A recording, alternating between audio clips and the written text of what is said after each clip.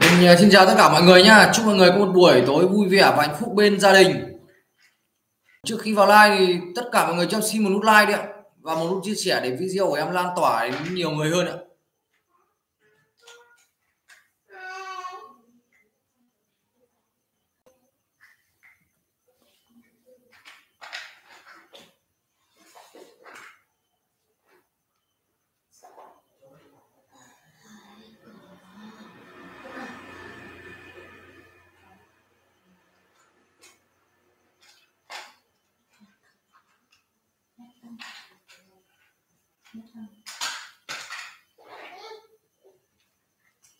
Chào bà Thu Phạm nhá.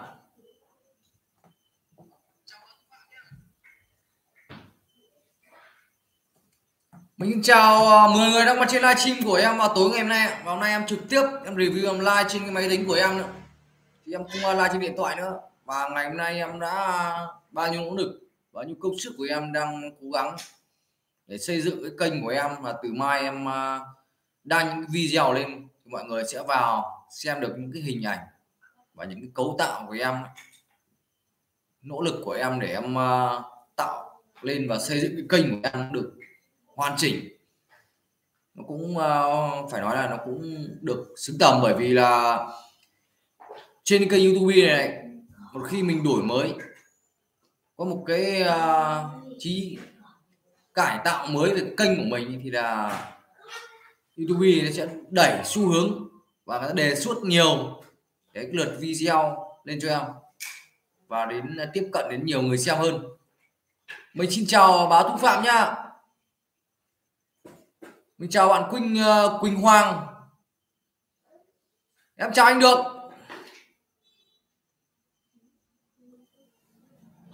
Sau này khó xem mà thế nào anh anh xem lại máy của anh như nào chứ? Vâng em uh, xem trên máy của em là ok mà anh ơi. Anh chỉ thoát ra anh vào lại cho anh được ạ. Vâng em à, chào anh Kiên Chu. Em cảm ơn anh, em chào anh.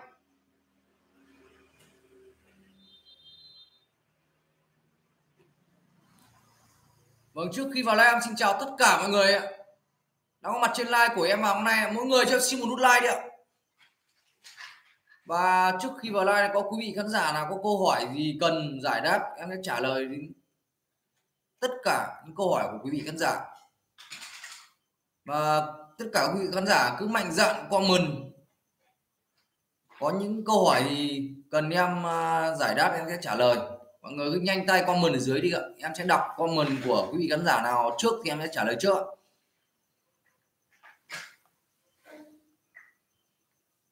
cái gì Quỳnh Hoàng ơi, em nói cái gì mà anh anh sợ không dám nói cả.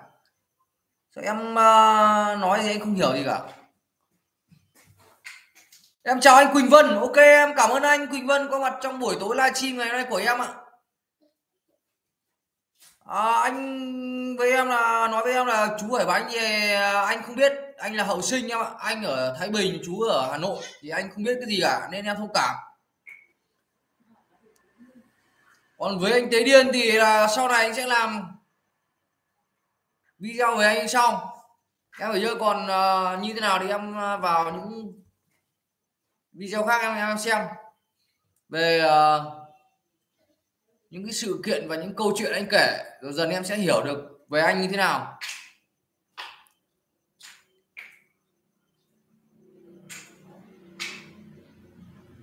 À bà tu phạm à, ok. Ok bà tu phạm.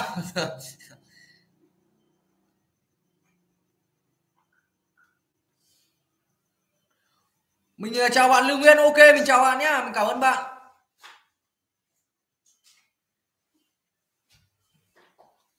Sau này dần anh sẽ làm à, cái video về anh sau em à, Quỳnh Hoàng anh cảm ơn em đã đến à, video của em của anh trong buổi tối ngày hôm nay. Anh cảm ơn em nhá. Ok, mình cảm ơn bà Thu Phạm. Và mình xin chào 15 người đang mặt trên livestream của em vào tối ngày hôm nay bông bật quạt không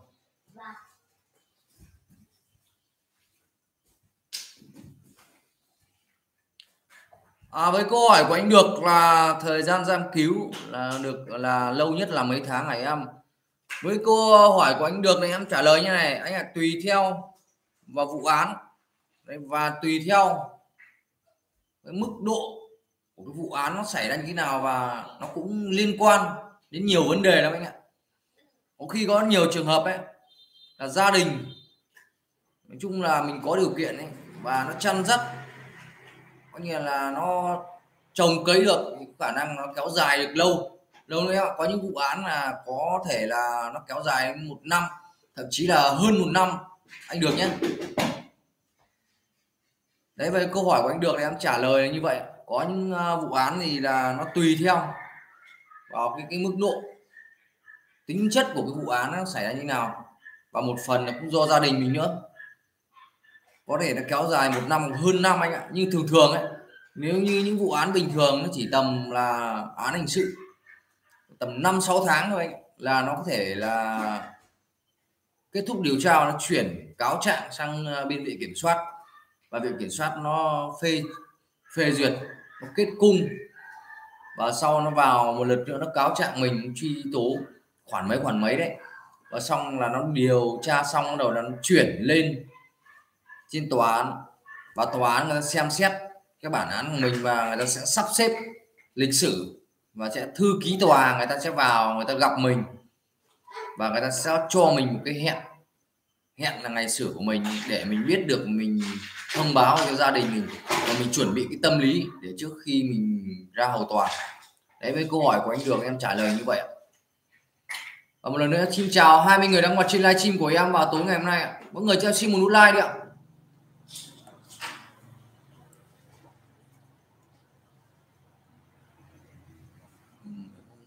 Wow.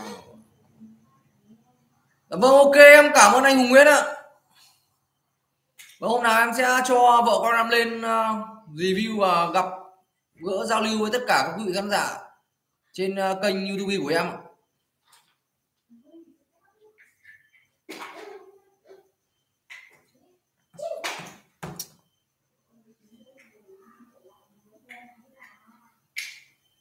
Vâng, chào chào chú Băng.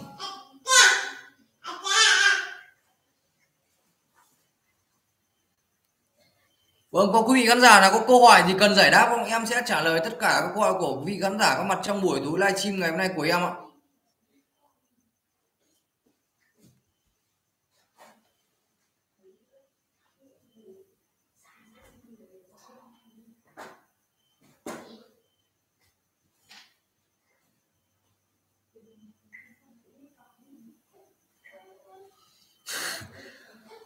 Với câu hỏi của em Kubi thì không em. Anh đùa nhất là anh ờ, còn trẻ. Và cái thứ hai là anh uh, tù thì anh ra vào liên tục án anh ngắn ngắn. Với mình không có mức độ là mình phải có cái tính chất nói chung là có cái tính biến thái như những người khác. Thường thường có cái tính cách như vậy là dành cho những người người ta tù lâu án dài. Đấy và người ta ra vào liên tục. Với ra ngoài xã hội người ta không có điều kiện để mà yêu đương hay là quan hệ thế nọ này kia cả. Cho nên là người ta thay đổi tính nết, người ta chuyển sang một cái cái cái giới tính nước khác mọi người. Những người anh em nào người ta từng trải qua môi trường trường trại rồi thì sẽ hiểu được, cảm nhận được cái tính cách của những người anh em người ta tù già này, người ta tù lâu án dài. Thì là người có tính cách rất là dị dị người người ta khác người một cái kiểu cách gì đơn giản nhất nhé. Ví dụ, người ta nhìn thấy bất kể mà anh em nào nhìn trông sạch sẽ, trắng trẻo, đẹp trai một tí. Đấy, là người ta sẽ mân mê người ta lại. Người ta sẽ sờ soạc linh đa linh tinh. Đấy, thậm chí là người ta có chiều nhiều những cái hành động và những cái thái độ mà người ngoài nhìn mà không thể chấp nhận được. Và chính là cái câu chuyện ngày nay em gửi đến tất cả các vị khán giả, cái câu chuyện về đại bàng, đại bác không những đại bàng đại bác mà những vào cái thời điểm đến bây giờ đấy là những anh em um, cải tạo trong các trại giam mà những anh em mà thuộc vào cái tầm tầm cỡ như kiểu là tù lâu án dài người ta chỉ là những bình thường thôi là những người bình thường thôi. Mình chia sẻ với các bạn là trong môi trường trường trại bây giờ thì là nó không có nó không có kiểu là phân theo giai cấp đấy trên chạy lớn không phân theo giai cấp đại bàng này bác ông tướng tượng sĩ quan bộ đội lái xe không có có nhiều từng chỗ người ta gọi lái xe lái xe. Chứ chạy lớn giờ nó chỉ là anh em ăn ở với nhau. Và người ta quen cái từ ngữ người ta gọi. Khi người ta không có gia đình người ta ở với những người người ta có điều kiện thì người ta quen cái, cái, cái từ ngữ người ta gọi là lái xe thôi. Chứ thực sự trong môi trường trại giam giờ là tất cả những anh em người ta ăn ở với nhau chỉ vì cái tình cảm. Thế thôi, còn người ta vui vẻ, người ta ở với nhau, còn không vui vẻ các bạn, là người ta chia mắm, chia muối, người ta giải đám giải tán quốc hội. Đấy, mỗi người một hướng, mỗi người một đường. Chứ không gắn kết và không ràng buộc như ngày xưa các bạn. Như ngày xưa là xác định là ăn với nhau, ở với nhau. Chỉ trừ trường hợp là những anh lớn, khi mình đã ăn cơm với những anh lớn rồi là chỉ trường hợp là người ta đuổi mình ra khỏi quẫy thì mình ra thôi. Còn mình là em là út hay là lái xe lái cộ là mình không được phép bởi vì nó ràng buộc nhiều cái. Khi mình ở với những người anh lớn của mình ý, thì cái lời ăn tiếng nói và từ bên phía ngoài người ta nhìn vào thì bao giờ người ta cũng tôn trọng người ta cũng nể núng một phần nào đó vì mình. Mà vì vậy mà những anh em ngày xưa người ta ăn ở với nhau người ta không dám xé lẻ ra hoặc là người không dám phá cuối chia mắm, chia muối với nhau cả. Bởi vì thời ngày xưa là trong cái môi trường tù tội, là cái thời nó loạn lạc, mọi người mà anh em phạm nhân người ta phải sống bó bện với nhau, đoàn kết với nhau để người ta duy trì được cái cuộc sống và duy trì được cái công cuộc cải tạo của người ta, mọi người một lần nữa em xin chào ba người đã mặt trên livestream của em vào tối ngày hôm nay nay hơn nhiều cảm ơn bạn nhiều nhé.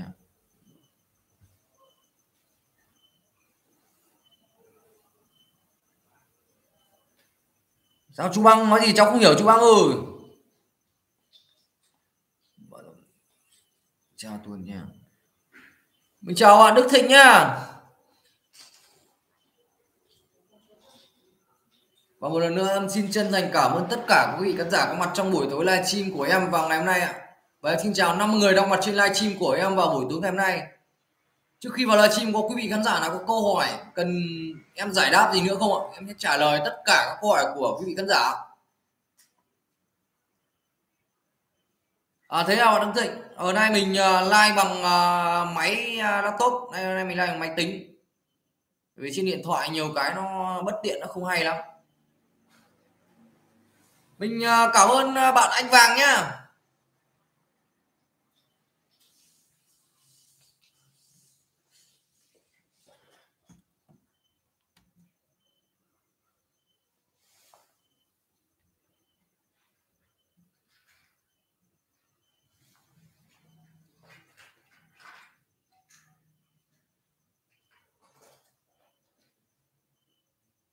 Ờ, với câu ờ, hỏi của em ờ, Quỳnh Hoàng bạn Quỳnh Hoàng hay là anh anh không biết về cái vấn đề cái thằng ờ, cánh trường cai như nào em em ạ. Em em ờ, thông cảm. Em đã vào like của anh ấy là em chỉ biết xem và em hỏi những câu hỏi gì mà về vấn đề trong môi trường tù tội hoặc ngoài xã hội. Anh biết được thì anh trả lời thôi. Còn những ba thành phần vớ vẩn vẩn úi rồi úi dạ thì em tốt nhất là em đừng hỏi những câu hỏi đấy nó bằng thừa em ạ trước khi em đưa những câu hỏi, em phải suy nghĩ là em hiểu được, bởi vì anh không liên quan, em không dính dáng với anh không như những người khác. Em hiểu không? Nên là tốt nhất là em đừng mà nhắc tên bất kể một thành phần nào vào trong cái đường like của anh cả. Chỉ trừ những người anh em thân thiết của anh, quen biết của anh, ví dụ như đám anh tế anh tiếp thì em có thể em ok, em hỏi, anh ok. Còn những ba thành phần ngoài vào phủ sóng, anh không bao giờ anh quen biết gì, thì đừng bao giờ nhắc trên đường like của anh em nhé anh à, cảm ơn bạn Quỳnh Hoàng nhá.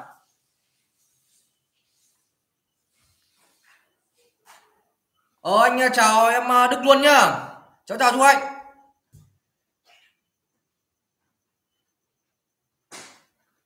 Rồi, ok, mình cảm ơn bạn anh Vàng nhá. Ok, bạn Vàng được. Ok, mình cảm ơn bạn nhá.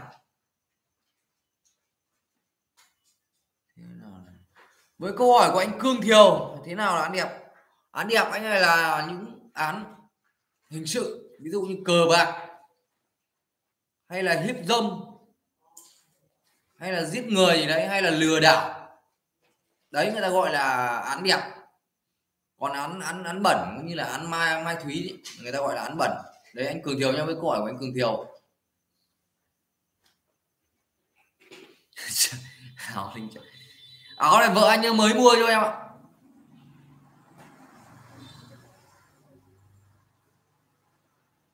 Sao hôm nay không có chú thông báo à, chú anh ấy chú phải à, dấn vào cái cái quả chuông ấy. Ví dụ đây này. Em uh, chia sẻ mọi người là những ví dụ có quý vị khán giả nào mà khi em livestream ấy mà người ta mà trên à, kênh nó không báo thì là mọi người dấn vào quả chuông cho em này. Đấy dấn vào quả chuông này cho em này. Trên đường live của em nó có quả chuông nha. Dưới phần này nó có quả chuông đây mọi người dấn vào quả chuông là nó hiển thị lên. Đấy khi mọi người đang xem live là mọi người dấn vào quả chuông này này. Đấy nó hiển thị lên này với mọi người dấn vào chữ tất cả này cho em. Đấy là khi em đăng một bất kể một cái cái cái, cái gì video gì hay là những cái bài đăng của em là máy của mọi người nó mạng nhà mạng nó sẽ báo về hết. Đấy bên youtube sẽ báo hết về cho mọi người. Đấy là mọi người lưu ý em cái ờ, về cái vấn đề là nhận sao không nhận được thông báo đấy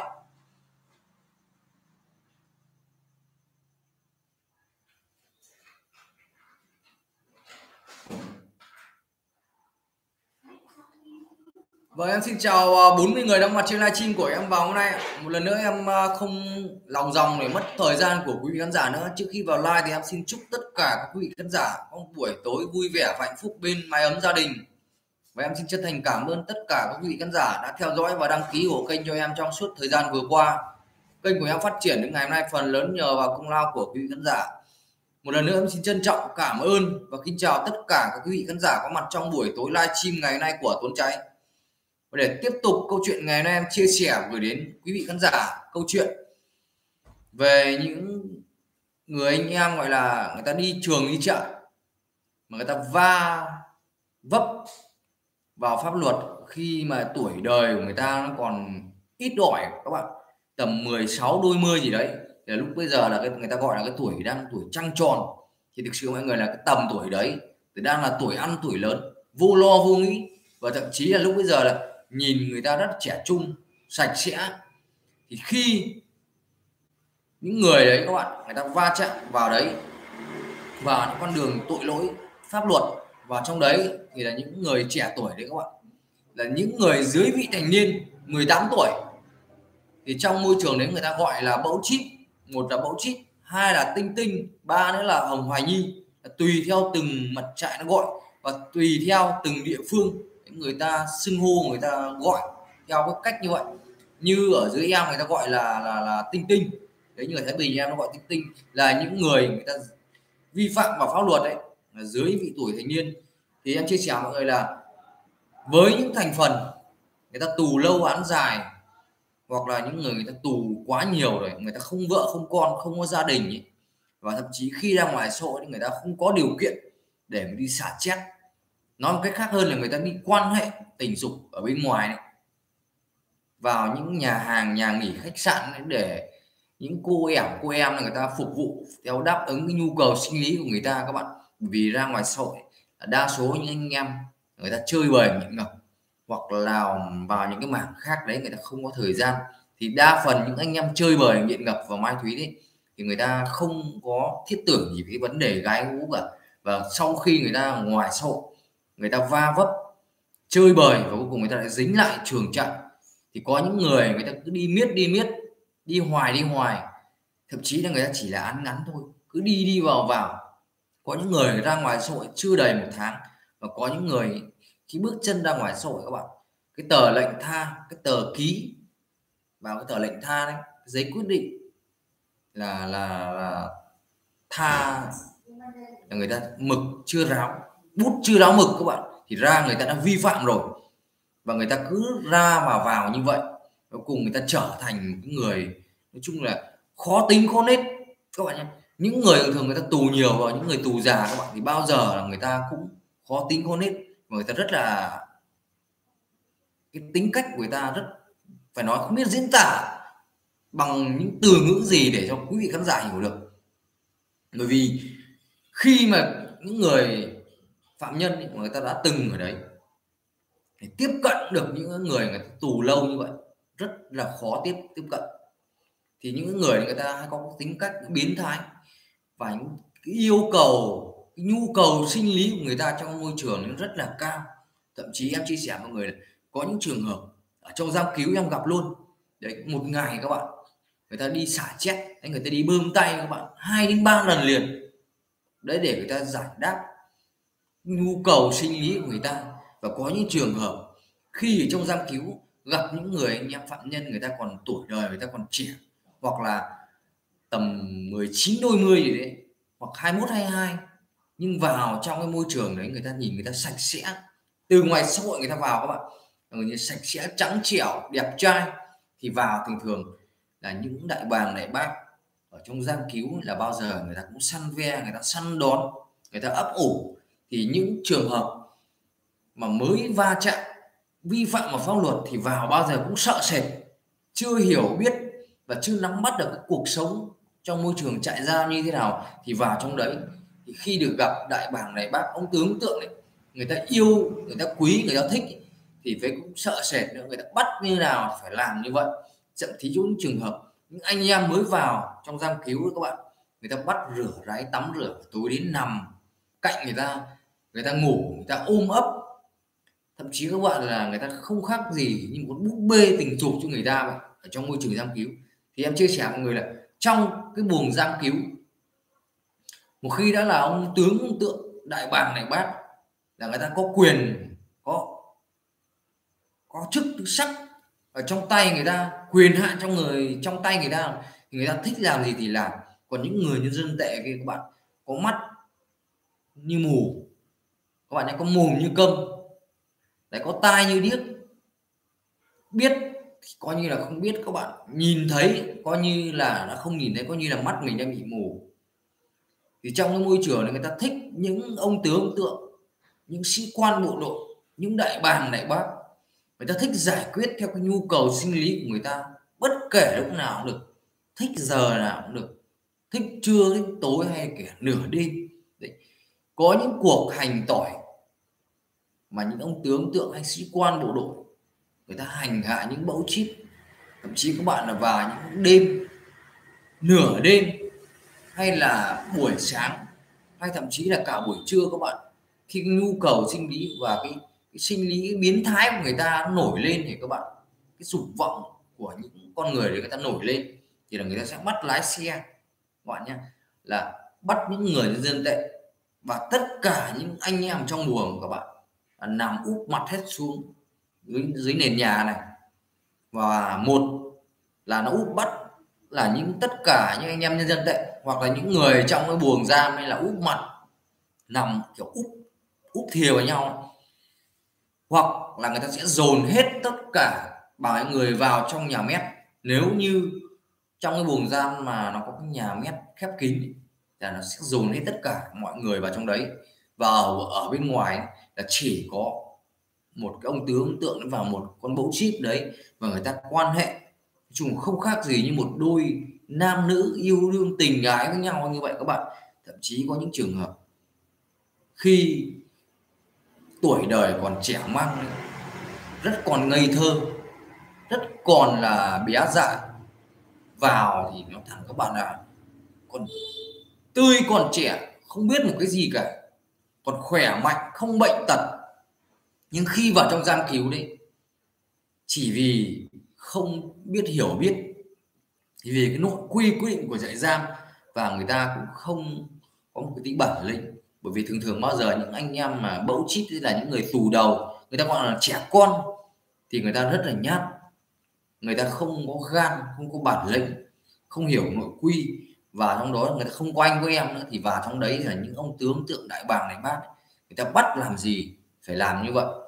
Có những trường hợp là, em chia sẻ mọi người là, có những trường hợp là gặp đại bàng này bác thì do người ta chơi bời, trích chót ma túy, ma teo ở ngoài, người ta hiv hết, các bạn.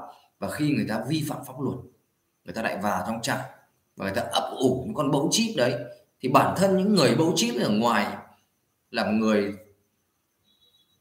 mới lớn lên nhìn trông sạch sẽ, chưa bệnh, chưa tật gì. Nhưng khi vào trong đấy, gặp những đại bàng này, bác, các bạn, và để cho người ta quan hệ, và cuối cùng mang bệnh, mang tật về người. Có những trường hợp, em chia sẻ với mọi người là có những trường hợp, khi ở trong giam cứu đấy, được những đại bàng này, bác hay ông tướng tượng, người ta có cái tính dâm ô, hoặc là có tính biến thái, một người biến thái như vậy, suốt ngày người ta ấp ủ và người ta quan hệ thì mọi người, em chia sẻ mọi người là quan hệ trong đấy là người ta thường thường bao giờ người ta quan hệ bằng cái lỗ phích, các bạn. Thì khi mỗi lần, khi mỗi lần mà những người người ta quan hệ đấy những tướng tượng, người ta quan hệ với những bẫu chip các bạn, thì bao giờ người ta phải dùng một ít dầu ăn hoặc xà phòng tắm, các bạn.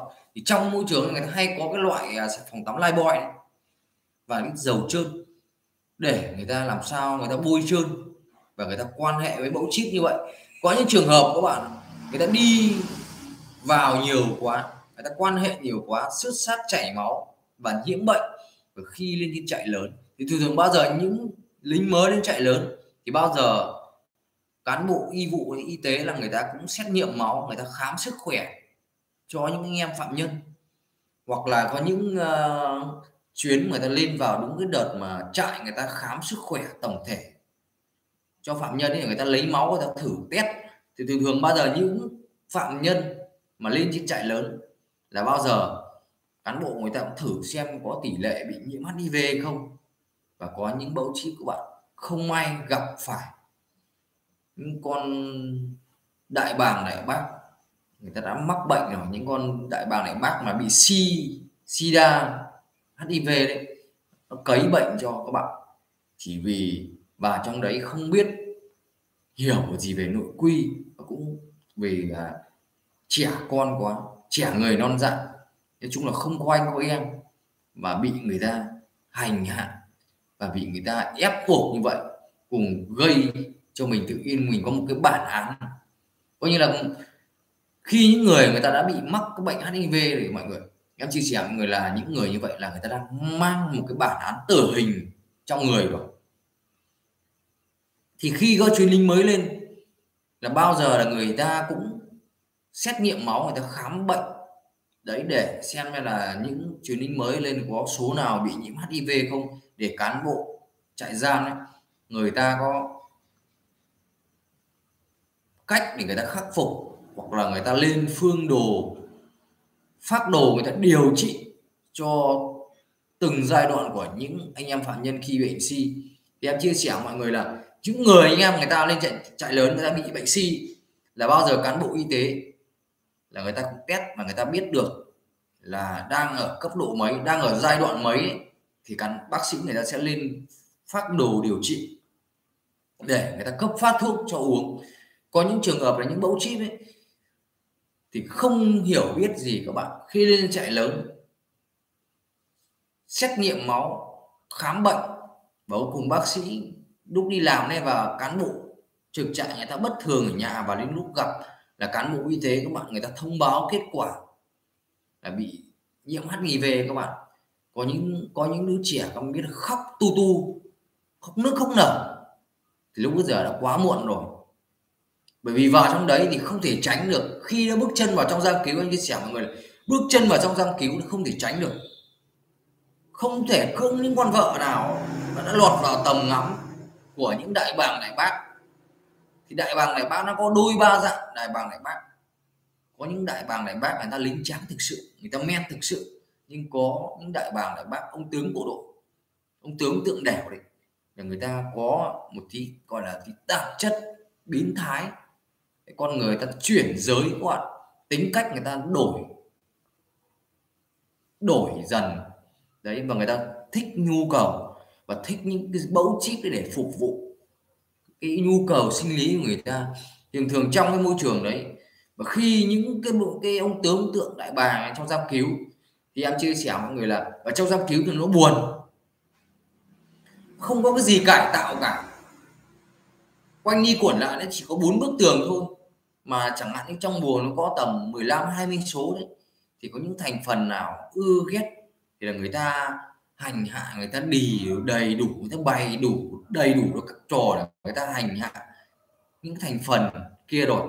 Nhưng một khi, một cái buồng mà khi nó có một lính mới vào các bạn, vào trong buồng giam thì coi như được cả cái buồng đấy cảm thấy nó mới mẻ hẳn lên. Coi như là cái người lính mới đấy là mang cái câu chuyện mới mẻ nhất từ ngoài xã hội vào trong cái buồng đấy là cũng như là cả cái buồng đấy là ngày hôm đấy và ngày hôm sau là công cụ cải tạo nó rất là bon rất là thoáng. Bởi vì trước khi lính mới vào trong vùng giam thì là bao giờ ông tướng tượng, sĩ quan bộ đội là bao giờ người ta hỏi han chuyện trò tình hình ở ngoài như thế nào, rồi thế nọ thế kia đấy còn một khi những bấu chít người ta vào mắt, vào đèn người ta này, được cái sự yêu thương của người ta rồi, thì bao giờ cái sự lựa chọn người ta là số 1 bao giờ cũng yêu ái các bạn. Không phải làm lụng một cái vấn đề gì cả. Không phải làm bất kể một việc gì? Ngoài ra là có lái xe lái cộ người ta làm hết rồi. Chỉ có ăn và chơi và nằm cạnh các anh. Đấy rồi đấm bóp rồi linh tinh cái nọ cái kia. Thậm chí là đi tắm với các bạn nhé trong dòng kiểu đi tắm ấy, có khi là bỗng chít và những ông tướng đấy các bạn là cũng vào tắm chung với nhau như kiểu là vợ chồng. Nếu như đằng thả như hai người con trai nhau khi ở trong môi trường đấy thì em chia sẻ với người là sống trong cái môi trường tập thể đấy, thì là độc con trai nhau người ta tắm, thì người ta cởi hết quần áo ra, cởi trần, cởi chuồn người ta tắm với nhau. Như lợn, nó là chuyện bình thường thôi. Thành bầy, thành đàn. Như trong giam cứu hay trên trại lớn vậy. Trên trại lớn, em chia sẻ với mọi người là nó có hai cái bể nước, là ở hai khu như nó ở ngoài sân. Đấy, ở trong nhà nó cũng có bể, ngoài nó có bể. Thì là như thời kỳ ngày xưa ấy là trên trại lớn là cái thời ờ, trại nó còn khắc nghiệt đấy nó còn khét mù cái thời đấy thì chỉ có những người mà người ta có số má, có tên tuổi thì người ta mới được tắm trong buồng thôi.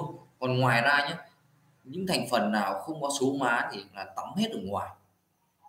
Thì mọi người là bảo em chia sẻ mọi người là khi bằng đấy anh em, một khu nó còn tầm hơn 100 số, hơn 100 người đấy, mà người ta đi lao động và nhập trại về cùng một lúc, thì về cái mùa hè này các bạn.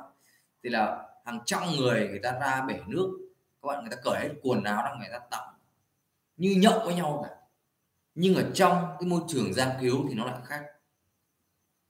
Thì khi những ông tướng tướng đại bàng, đại bác người ta có nhu cầu một vấn đề gì là người ta sẽ nói nhỏ với lái xe và sắp xếp hết theo một cái kịch bản.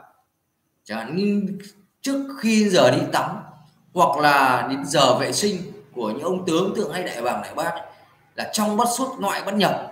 Đừng có một thành phần nào dám le ve bước từ trong cái cửa nhà mét bước vào các bạn thì còn ngoài ra những dân tệ thì trong giam cứu thì mọi người nghe nhiều những câu chuyện, mọi người đều hiểu rồi, là đóng góc tại chỗ bó hối cục pha này, không có nhiệm vụ gì thì chỉ có dựng chân trống, ngồi một chỗ mà cắn móng tay thôi còn ngoài ra những sĩ quan bộ đội là cấm le ve vào những cái giờ đấy. Hoặc là những bộ đội, bộ trảo đấy.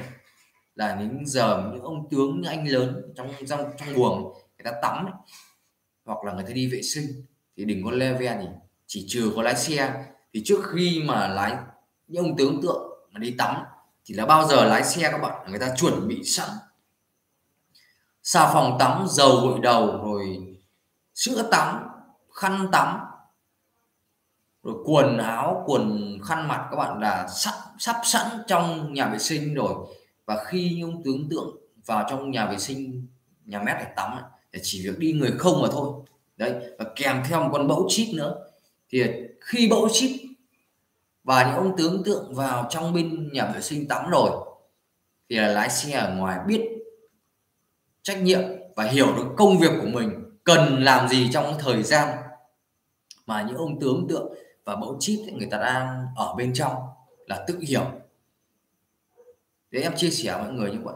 Thì có những cuộc quan hệ, thậm chí có những cuộc quan hệ giữa mẫu chip và những ông tướng tượng đại bàng này các bạn. Khóc là tiếng mán. Có những đứa trẻ các bạn, chỉ 17 18 thôi, sợ quá, không ăn được cơm. Và thậm chí là đau không dám kêu ai các bạn biết kêu ai bây giờ? Nếu kêu ra thì lại sợ. Nhất là sợ những ông tướng tượng đại bàng, đại bác. Đấy, người ta sẽ hành xử theo kiểu khác. Người ta đánh đập hoặc cái nọ cái kia. Và cái thứ hai là người ta là tù đầu. Những người ta cũng không có được cái suy nghĩ và không có được cái hiểu biết như những người người ta từng va vấp về môi trường chuồng trại là thì nó khác các bạn. Đấy, là em chia sẻ các bạn là trong giam cứu thì có những trường hợp nó thay đổi tính nết thay đổi tính cách, nó biến thái và đâm ra làm thế gây cho những người của bạn ở ngoài là những đứa trẻ thôi. Người ta mới lớn lên, người ta vi phạm pháp luật lần đầu, người ta vào người ta không hiểu biết cái gì, lợi dụng nó là một đứa trẻ các bạn, để phục vụ cái nhu cầu sinh lý cho mình. Mặc dù biết mình đã là người bị mắc bệnh thế kỷ, mắc bệnh xã hội rồi nhưng không biết kiềm chế không biết là, là, là giữ cho người ta không biết nghĩ các bạn chỉ nghĩ làm sao là được phục vụ được cái nhu cầu sinh lý của mình lúc đấy thôi. Còn ngoài ra không cần biết không để ý. Và cuối cùng những đứa trẻ những con bấu trĩ chip như vậy các bạn phải dính phải gánh chịu tất cả những cái bệnh cái tật mà do những người anh mà từng yêu quý mình ở trong trong trong giam cứu đổ hết cho mình. Và cuối cùng là bước ngoặt cuộc đời của những đứa trẻ. Này và những em mà dưới vị thành niên các bạn, vào trong cái môi trường đấy phải phải phải phải dừng lại. Như cuộc đời người ta chấm hết, bước ngoặt người ta dừng hết lại, không có gì gọi là tỏa sáng nữa. Và vì sao các bạn ạ? Vì sao, vì sau này đấy cán bộ người ta hiểu biết người ta nắm bắt được. Và có cái trường hợp nhiều trường hợp xảy ra và cuối cùng là người ta tách buồng riêng ra. Thì những cái đứa trẻ mà dưới vị thành niên khi vi phạm pháp luật ấy, là người ta sẽ chuyển sang và người ta sẽ cho ở cái buồng khác các bạn. Và đến sau này ấy là tất cả những trẻ vi phạm pháp luật dưới dưới tuổi vị thành niên ấy, là người ta sẽ nhốt vào một buồng riêng còn như ngày xưa ấy, là người ta nhốt chung cả vào người lớn. Nhốt chung cả với người lớn các bạn. Và rồi để nhiều những trường hợp nó bị dính bệnh dính tật như vậy đấy. và cũng là cái bài học. Và cuối cùng những người ta phải những người cán bộ những người ông giáo các bạn khi người ta hiểu được chuyện ra và người ta phải nhốt riêng. Những người mà dưới 18 tuổi nếu là vị thành niên tinh tinh thì là người ta sẽ nhốt riêng một buồng còn lên trên trại lớn nữa là khác. Thế trên trại lớn, và cùng những ông giáo này, người ta cũng phân theo một cái đội khác. Những người mà chưa, người đủ 18 tuổi, trên trại lớn là người ta cũng phân về một đội. Thì ở trong đó là bao giờ là cũng có một người người ta lớn tuổi rồi. Đấy là là những người như anh em mình đấy là có một người là chuyên môn đứng ra để báo số, dẫn cái đội đấy, coi như là đội trưởng đấy để dẫn cái đội tinh tinh đấy thì thường thường là ở những cái mặt trận là cứ có tinh tinh các bạn là người ta sẽ dồn hết về một đội hoặc là người ta gọi là một cách là hồng hoài nhi. Thì thường thường là những người mà dưới 18 tuổi mà khi vi phạm pháp luật rồi mà lên một có chuyến chạy lớn lên lên chạy lớn ấy, mà vi phạm pháp luật là người ta sẽ chuyển về một cái đội riêng. Đấy và khi cải tạo ở trong cái trại giam đấy và đủ 18 tuổi là người ta sẽ chuyển lên trên đội người lớn. Thì em chia sẻ với người là cái cuộc sống của những đứa trẻ tinh tinh hay là hoài nhi trong trại giam các bạn là một đứa trẻ vô lo, không biết suy nghĩ gì các bạn. Ăn chưa no mà lo chưa tới. Vào trong đấy thậm chí là em chia, em nói mọi người là cái thời gian em chấp hành án ở trại giam Thanh Phong là cái đội 18 à, cái đội 19 nhé là cái đội tinh tinh đội Hồng Hoài Nhi các bạn. Thậm chí là có những buổi đi làm nhé thì đội em là đội sửa sửa trong là là đối diện với cái buồng của bọn tinh tinh này. Để thậm chí có những hôm đi làm những ông quản giáo ấy, thì các bạn bảo là là những đứa trẻ đấy chưa biết suy nghĩ gì chưa trưởng thành gì ở ngoài xã hội là nó còn ăn no ngủ kỹ chưa biết làm lụng một cái gì cả. Nhưng khi vào trong cái môi trường trại giam là các bạn chim lồng cá chậu rồi. Để trói vào, buộc vào thì phải chịu thôi. Bắt chúng nó làm, chúng nó phải làm thôi. Nhưng các bạn, cán bộ người ta vẫn du di và người ta có thể bỏ qua cho nhiều cái mà những các em người ta, những những em người ta gây lên hoặc là vi phạm những cái gì mà nhỏ không đáng truy cứu thì là cán bộ người ta vẫn bỏ qua. Và thậm chí có những hôm khi xuất đội đi làm rồi thì thường thường buổi chiều hay buổi sáng khi xuất đội đi làm là những ông giáo là người ta hay đứng ở cổng khu hoặc là những ông giáo người ta đứng ở cổng trại thôi chờ đội trưởng của mình dẫn đội ra ngoài đến cổng và trực trại báo báo số trực trại và trực, trực trại cho xuất trại rồi ấy. Thì là ông quản ông sẽ dẫn đội ra ngoài lu ngoài lán người ta làm. Nhưng những quản của ông tinh tinh này thì lại khác. Có những buổi các bạn biết là ông đứng ngoài cổng hay đứng ngoài cổng khu vậy ngoài cổng phủ và cổng khu không thấy đội của mình đâu. Đấy về cái buổi trưa mùa hè này hoặc là những buổi trưa về mùa đông buổi chiều này, là khi dẫn đội đi làm thì là chờ mãi chờ mãi không thấy đội của mình đâu cả. Thì khi công quản ông phi vào trong trong buồng thì các em còn đang ngủ còn đang ngủ say các bạn. Thậm chí là đến những đội trưởng nhé đội trưởng đấy là người lớn như anh em mình rồi đấy. Là giao trách nhiệm. Là người lớn giao trách nhiệm. Được ban giám thị và hội đồng cán bộ người ta giao trách nhiệm cho là dẫn đội làm đội trưởng dẫn cái đội tinh tinh ấy để đi làm. Nhiều lúc sống vào hòa quyện sinh hoạt cùng vào cuộc sống của các, các em đấy các bạn cũng trở thành như một đứa trẻ con vậy. Ăn cũng chưa no lo chưa tới. Đấy là những người lớn nhé là những người báo số cho những đội chính tinh các bạn. Thậm chí là đến giờ làm công giáo vào tận nơi các bạn, gọi, vỗ vai các em từng người một để mo chóng chóng dậy. Bắt đầu lúc giờ các em mo chóng mặc quần áo bạn, mặc quần áo vào rồi nhanh chóng xếp hàng xuất xuất độ có những trường hợp là, em chia sẻ mọi người, có những trường hợp là buổi chiều khi dậy thì nó còn trẻ con, nó rất là ngái ngủ thậm chí là quần thằng nọ mặc nhầm quần thằng kia hoặc thằng nọ đi dép của thằng kia đấy.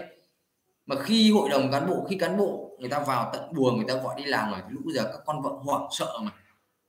Lo là sợ bị là kỷ luật hay là bị cắt khá để giảm án sợ không được giảm án là cứ mo trong chóng. Và cuối cùng đánh lẫn lộn và chửi bới lẫn nhau mà khi à, mà đầu giờ chiều nhập trại hay, hay là hay là đầu giờ sáng suốt đội như vậy thì bao giờ những em các bạn là người ta cũng lộn xộn trong cái thời gian mà suốt chạy đi làm về cái sinh hoạt của các em. Thì em chia sẻ mọi người là đã gọi là trẻ con. Thì lúc nào cũng có tiếng cười, tiếng khóc. Cứ đi thì thì chớ. Nhưng về đến khu, thì cái cuộc sống của các em ở trong trại giam này là cán bộ người ta cho ở riêng người ta biết được là nếu ở cùng khu với những người lớn ấy, những, những anh em phạm nhân lớn ấy, là có những người người ta tù già mà người ta có cái tính chất là biến thái. Người ta bê đi hoặc là chuyển giới thì người ta sẽ thích những con bấu chít nhỏ những người anh em tinh tinh chính vì như vậy là cán bộ người ta tách riêng ra là khu của những trẻ nhỏ. Vi phạm pháp luật là người ta sẽ cho về một khu riêng để ở còn khu người lớn ở một khu riêng thì em nói mọi người là cái cuộc sống và cách sinh hoạt của các em ở trong đấy rất là lộn xộn bừa bộn lên.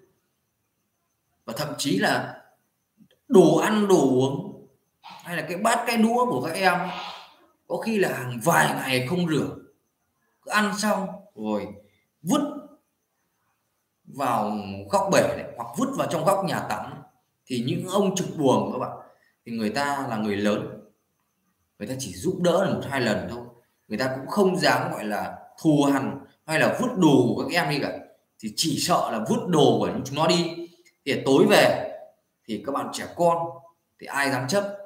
Mà chấp với bọn đấy thì bằng chấp với con mình thì đâm nó không hay. Thì trẻ con bao giờ nó cũng hiếu chiến mà. Thường thường những người mà người ta vào trong cái môi trường ấy rồi là những đứa trẻ bao giờ nó cũng hiếu chiến. Nó cũng thể hiện tính cách của nó và thể hiện cái bản lĩnh ga năng của chúng nó các bạn thậm chí là đánh chửi lại. Đấy, những ông trực buồng là người ta đa người ta đáng tuổi ông hay tuổi cha, tuổi chú mình ấy. mà người ta hiểu được, những người trực buồng người ta hiểu được như vậy. Và người ta nín nhịn người ta muốn làm sao gọi như là dĩ hòa vi quý để qua ngày đoạn tháng để người ta được cải tạo thôi. Chứ ngoài ra các bạn người ta cũng đau đầu lắm. Có những trường hợp là trực buồng người ta còn mất thêm tiền các bạn, để cho ban giám thị để chuyển người ta đi trực buồng ở khu khác, chứ không dám ở với những đội tinh tinh ấy. Thì em chia sẻ mọi người là, có những hôm nha có những hôm trực buồng phải ở nhà, gấp hết lại chăn màn cho chúng nó.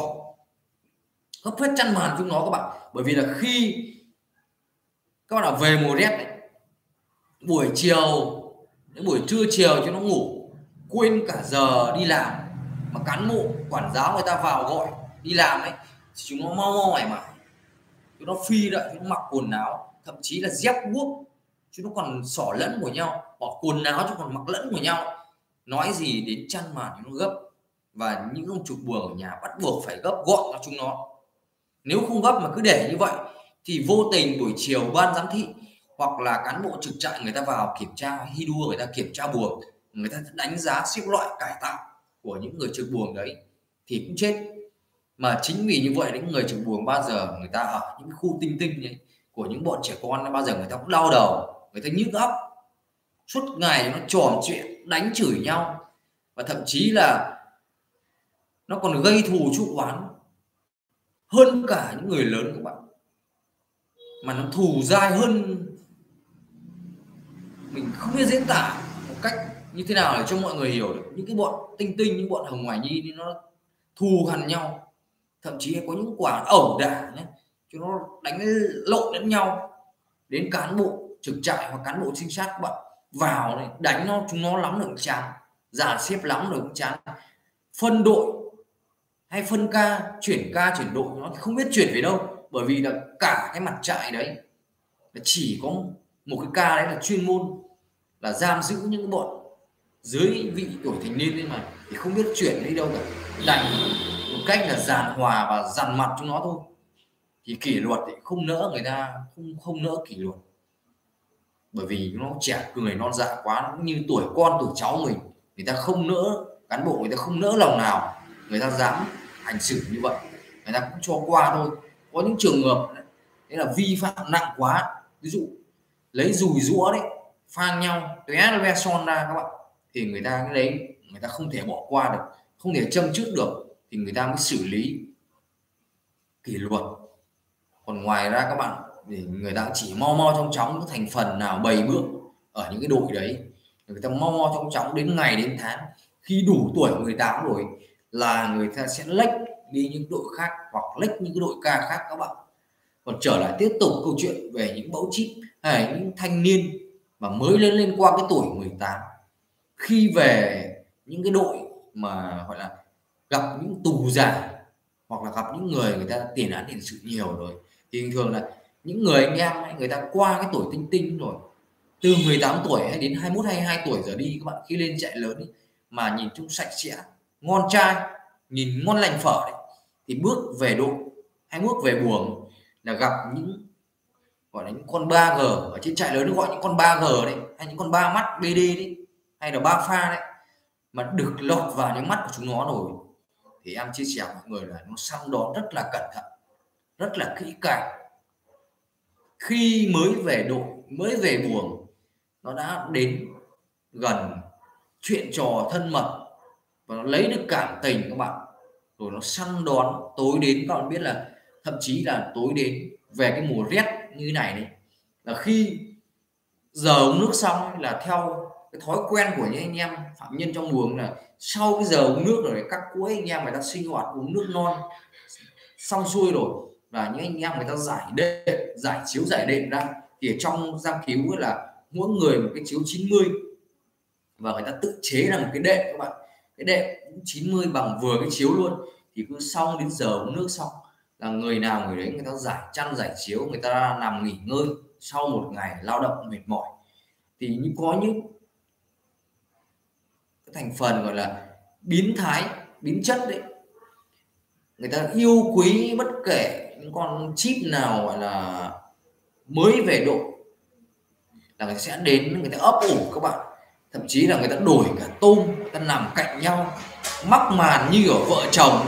Có những trường hợp, em chia sẻ mọi người, có những trường hợp nhé, người ta sinh hoạt ăn uống với nhau, tối đến người ta ngủ, người ta mắc màn đôi các bạn.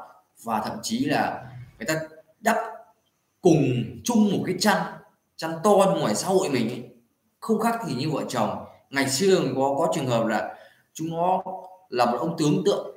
Đấy, khi cái anh này anh là một ông tướng tượng đại bàng đại bác nói chung là có tiếng nói trong buồng và mắc cái bệnh biến thái thèm thèm con trai này. Và chiếm được một cái góc trong buồng để nằm. Và khi có một con bẫu chít này các bạn nhìn trông ngon lành cao to đẹp trai trắng trẻo đấy mới ở giam cứu lên thì nhìn trông ngon đòn nó và anh ấy đã bắt được con bẫu đấy. Chính là cảm tình. Và phím với ông trực buồng là tối đến phân chỗ nào là phân cạnh. Anh ấy nằm và cùng mân mê tình cảm. Và cùng là hai người nằm một chung, một chăn, một đệm các bạn. Mắc một cái màn và căng một cái rido.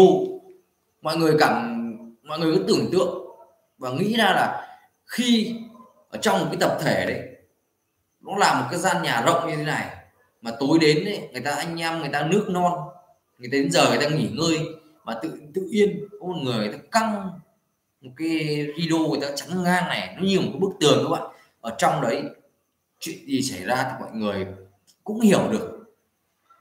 Có những cuộc em chia sẻ mọi người có những trường có những cuộc sinh hoạt giữa bấu chip và những đại bàng đại bác mọi người. Con bấu chip này em chia sẻ mọi người là bê cuồn chạy. Và cái ông đại bàng đại bác kia thậm chí là vào trong nhà vệ sinh rửa nhé. Mình nói hơi bị thôi rửa còn nguyên cả phân ở trong cái bộ phận sinh dục các bạn. Các bạn biết là cái, cái, cái con người ta khi nó biến chất đấy có tính dâm dục cái dục vọng người ta lên nó dở mọi thủ đoạn đê hèn. Và có nhiều trường hợp xảy ra tranh chấp bẫu chip đấy đánh đấm nhau trong môi trường đấy. Và có nhiều con vợ đấy bẫu chip mang bệnh về sau đấy là những câu chuyện em chia sẻ uy tín gửi đến mọi người về những cái, cái con bẫu chip mà trên trại lớn mà những ông tướng tượng thời ngày xưa và đến thời bây giờ. Như ngày xưa các bạn nhé là những ông tướng tượng thực sự đấy và khi có bẫu chip về độ về buồng đấy các bạn là người ta bắt ép. Đây, bắt làm như nào là phải làm. Lé mà được tránh mà được không có. Phải theo tự sắp xếp sắp đặt của người ta. Người ta bảo như thế nào phải làm như vậy. Ngoài ra không có cửa gì để dãy dụa cả. Nếu như dãy dụa các bạn biết cái sai ngay. Bởi vì nó đã cả cái buồng giam cả cái đội là của người ta rồi. Nếu như chiều anh theo anh phục vụ anh theo nhu cầu của anh ấy, thì ngược lại đổi lại. Em sẽ có một cái cuộc sống ngon lành hơn công việc cải tạo của em nó được bon ô kê hơn. Còn ngoài ra em là chống đối không phục vụ anh không làm theo nhu cầu của anh thì con đường cải tạo sẽ gian nan và vất vả mà vì như vậy có rất nhiều những anh em người ta vì hoàn cảnh gia đình người ta không có kinh tế không có mồ côi cha mẹ hay là không có người thăm non sang family tuần đập người ta chấp nhận người ta nhắm mắt người ta đánh đổi để đổi lại cuộc sống người ta. Bởi vì là có những nhiều trường hợp ấy, đã là như anh em tinh tinh hồng hoài nhi mà gây án các bạn thì là bao giờ án người ta cũng dài án ngắn cái tỷ lệ án ngắn ít lắm đếm như đầu ngón tay như em đã từng gặp và từng tiếp xúc với những anh em mà người ta dưới vị tuổi thành niên và những cái đội à, thanh thiếu niên hư đấy các bạn, là thành phần bất hảo ở ngoài xã hội vào ít nhất thì cũng phải hai, ba năm trở lên. Còn án cao nhất dành cho những người tinh tinh, những em bé dưới vị tuổi thành niên là bản án cao nhất của chúng nó là 18 năm các bạn. Nếu như mà nó đủ 18 tuổi mà nó gây án ấy, thì là cái bản án cao nhất của nó là 18 năm là không bao giờ có. Nó sẽ phải là bản án trung thân hoặc tử hình.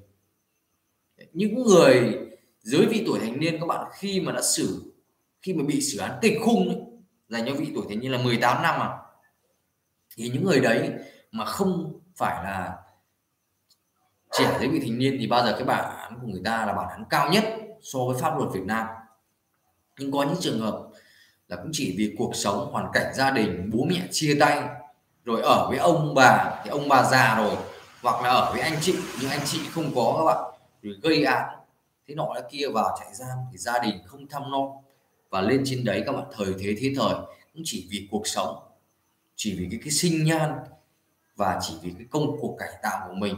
Mà phải đánh đổi để phục vụ, phải chiều lòng, phải làm theo những đại ca đại công hay đại bàng, đại bác.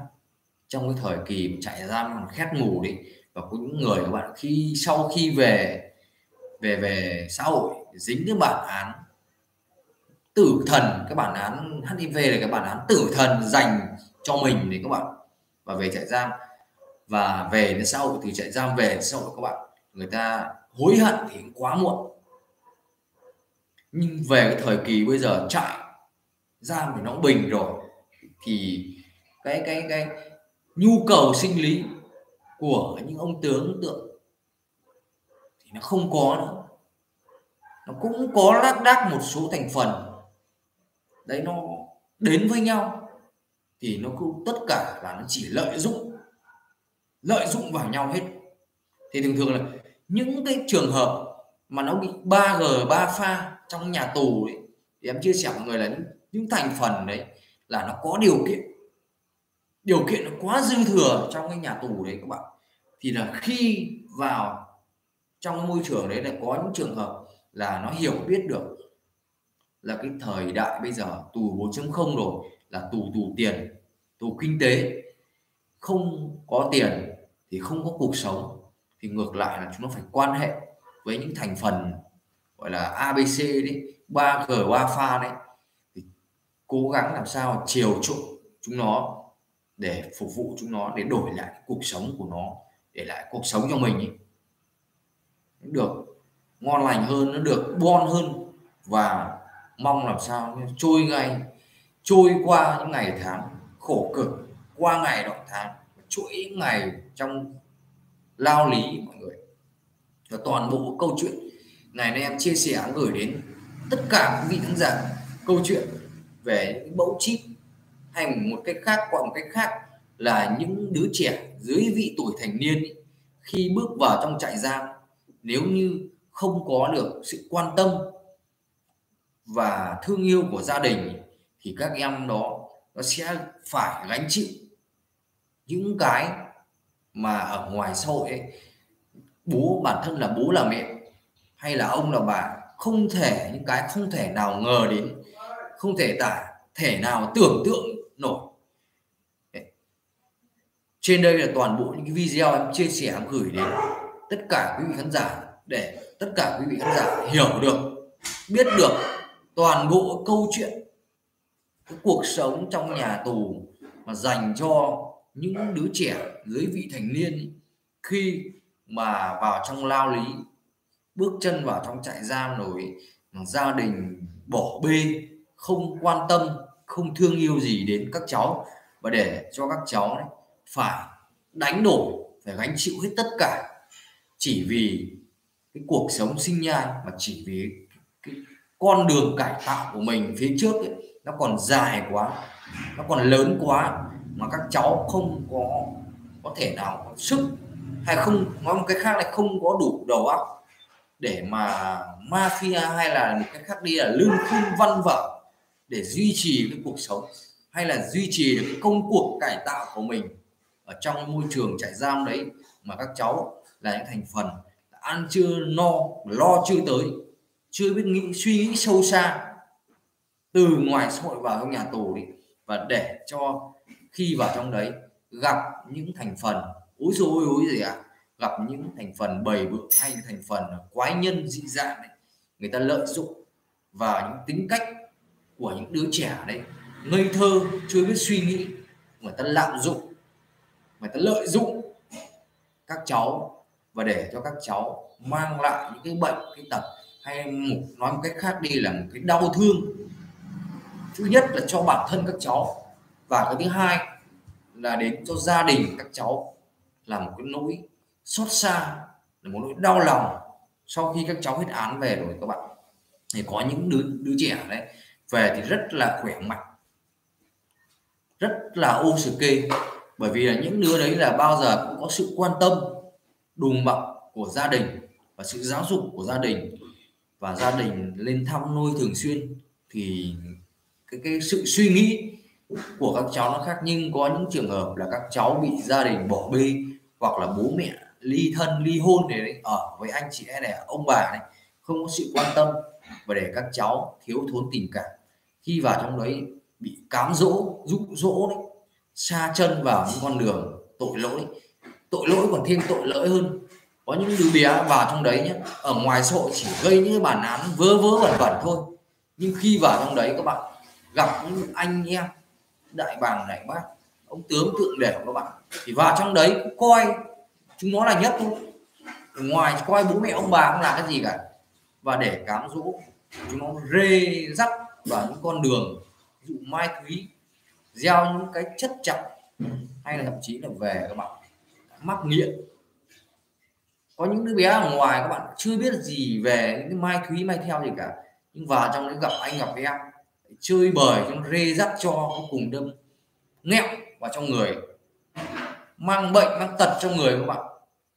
Đấy, em chia sẻ uy tín luôn. Cái toàn bộ video này em gửi đến quý vị khán giả để quý vị khán giả hiểu được cái cuộc sống trong môi trường tù tội nó là muôn hình muôn việc. Không có chuyện gì là không xảy ra được.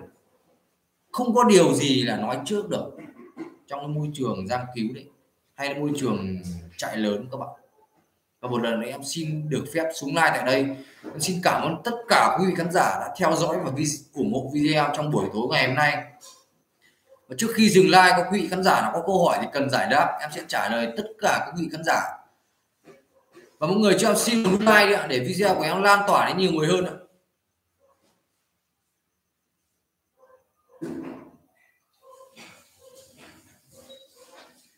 Anh à, chào à, Trang Nguyễn nhá. Chào chú Băng nhá. Dạ vâng em chào anh Tuấn Vũ. Trang hỏi đi, bà Thu Vang hỏi, Trang hỏi đi. Trang à, hỏi gì? Trang ơi, hỏi đi, anh trả lời Trang ơi.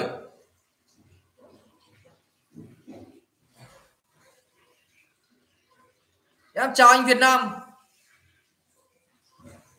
Vâng chúc anh Việt Nam có một buổi tối vui vẻ và hạnh phúc bên gia đình. Và em xin chúc tất cả quý vị khán giả có mặt trên buổi tối livestream của em hôm nay gặp một là một buổi tối vui vẻ và tràn đầy yêu thương và tràn đầy hạnh phúc.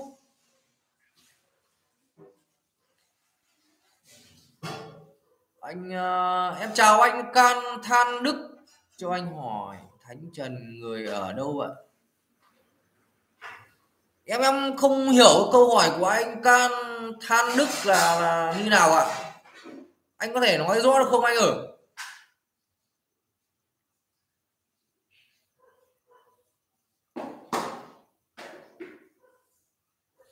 Dạ vâng ok em cảm ơn anh Tuấn Vũ ạ. Dạ vâng ok anh ạ.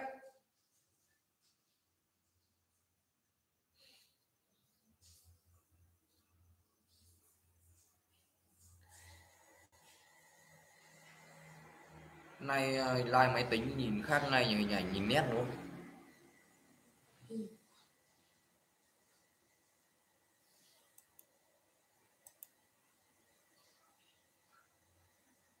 Và một lần nữa, không có quý vị khán giả nào có câu hỏi gì cần giải đáp thì em xin được phép xuống like tại đây. Một lần nữa em xin cảm ơn tất cả mọi người đã theo dõi video của em.